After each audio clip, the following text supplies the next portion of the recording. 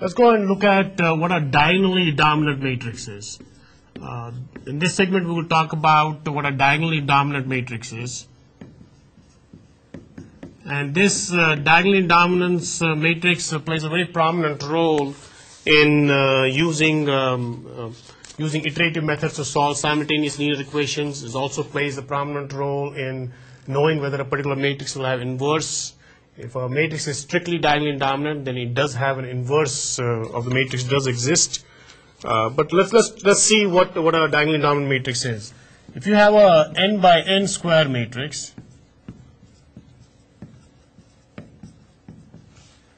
is uh, diagonally dominant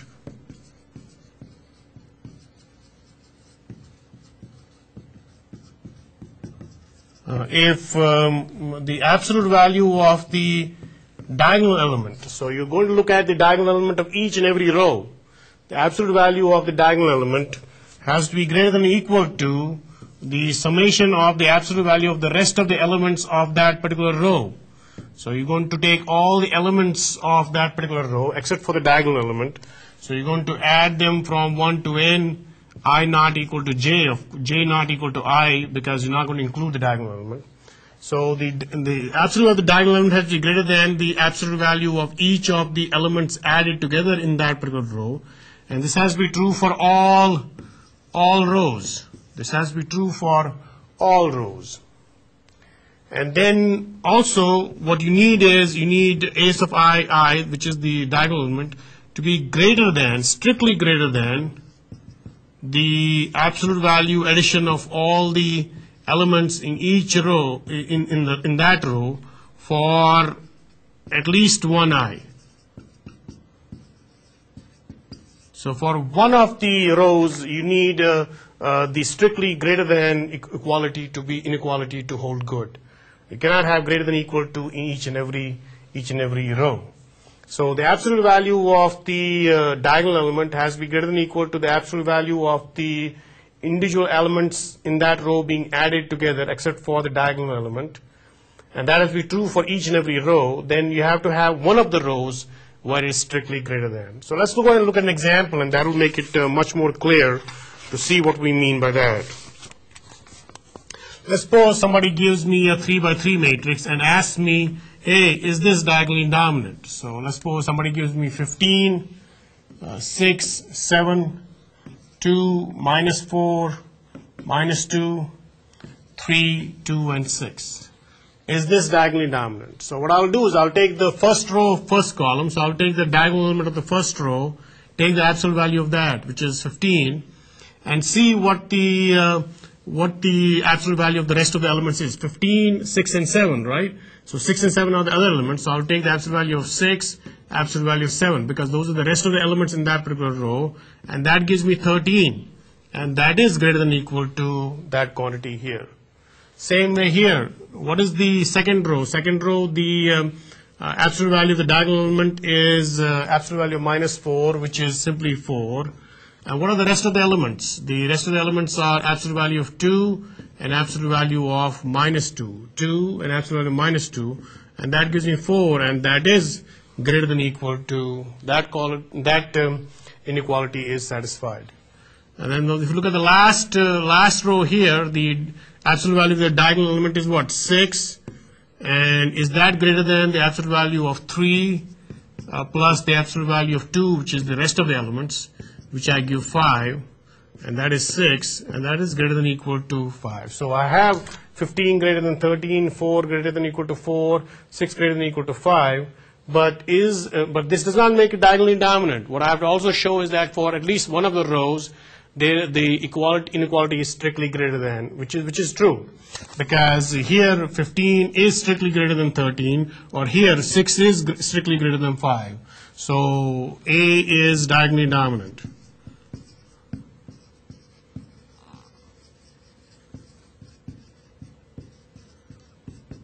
And the reason why that is so is because the absolute value of the diagonal element is greater than the absolute value sum of the rest of the elements, and it is strictly greater than for at least one row. In this case, it is strictly greater than for two rows, so that makes it um, diagonally dominant. Let's take another example.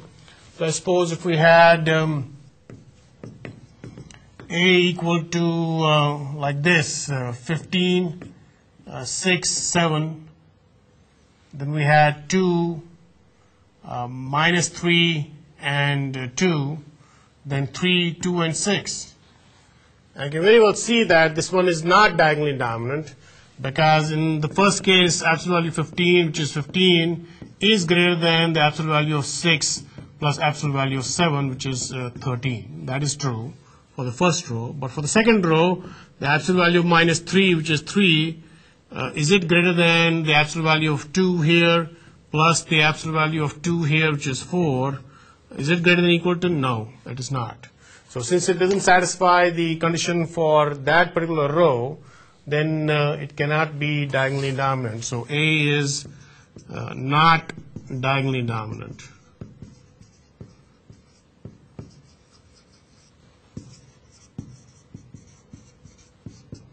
Let's look at yet another example and see this one. We have A equal to 15, 6, and 9, 2 minus 4 minus 2, 3 minus 2, and 5. Is this diagonally dominant? No, it is not uh, diagonally dominant. Why? Because you have 15, absolute value 15 is equal to 15, is greater than equal to the absolute value of 6 plus absolute value of 9, which is 15. That is true. In, for the second row here, the absolute value of minus 4, which is the diagonal element, which is 4, is it greater than the absolute value, greater than equal to the absolute value of the other elements, which is absolute value of 2 and absolute minus 2, which is 4. That is true. Same thing here. What is the absolute value of the diagonal element, which is 5? Is it greater than equal to the absolute value of this diagonal this other element in that particular row, which is 3, plus the other element, which is minus 2, which is 5? Yes, it is.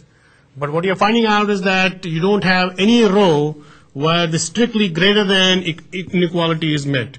Because 15 is equal to 15, 4 is equal to 4, 5 is equal to 5. But your strictly greater than inequality is not met anywhere.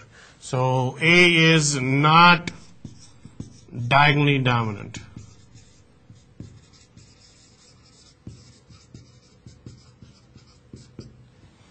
Now we have another uh, part of the diagonal dominant uh, matrix which is called strictly diagonally dominant.